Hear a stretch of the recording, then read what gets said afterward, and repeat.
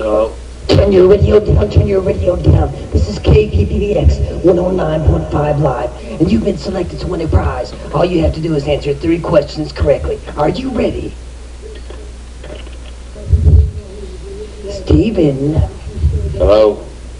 are you ready to answer the questions? I'll answer one question. What is it?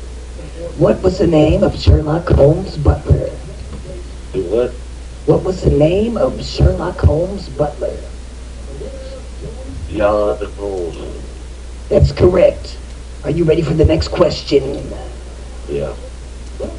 How many miles are in a quarter? How many miles are in a quarter? Yes, Just a quarter.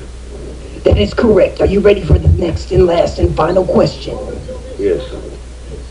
What makes time travel possible? Well, that's what? What makes time travel possible? And you got me. What makes what uh, possible? That is correct. You have won the prize. Do you have anything to say to the people out there in Radio Land? All I got to say is, be careful and have a good time. Well, how are you doing there, Ricky? I am doing just fine. You want me up, though?